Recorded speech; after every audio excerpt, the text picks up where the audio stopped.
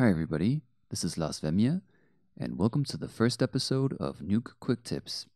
In this series of videos, I'll be sharing some tips and tricks for Foundry's Nuke. This first episode is about node workflows. I have three quick tips I want to share with you that can potentially save you a lot of time. The first quick tip is about navigating through your node tree. I personally love to use the F hotkey to select and zoom into any nodes or areas I want to see. Pressing F with nothing selected lets you zoom out again.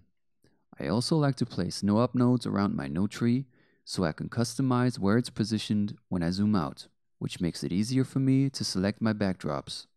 I think it's one of the fastest ways to navigate through your node tree, and looking at it from a bird's eye view a lot helps me personally to rearrange and optimize my script. It's always a good idea to keep your script as clean as possible and leave a bit of space between your backdrops so it's easier for you to select or rearrange them. The second quick tip I want to share with you is the usage of a little tool that I uploaded on Nukepedia that is called openNclose, which lets you open and close your node properties with two customizable shortcuts. This is the link to it, which you can also find in the description of this video.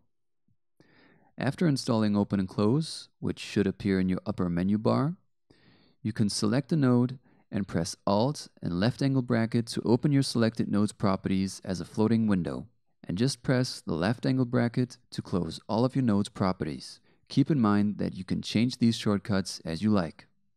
This brings me to the third and last quick tip of this video, which is about connecting your nodes over large node tree distances.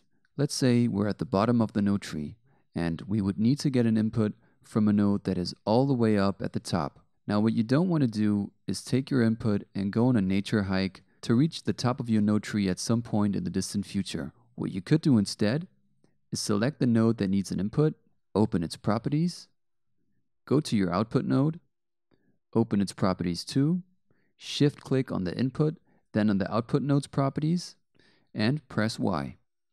Done, and close.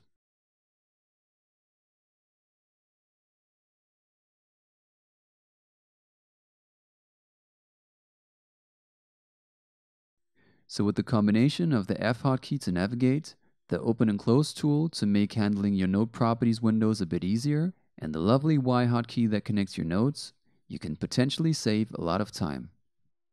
In the next episode of Nuke Quick Tips, I'll be talking about how you can take advantage of the Genius W hotbox from Gilsing that you can get on Nukepedia.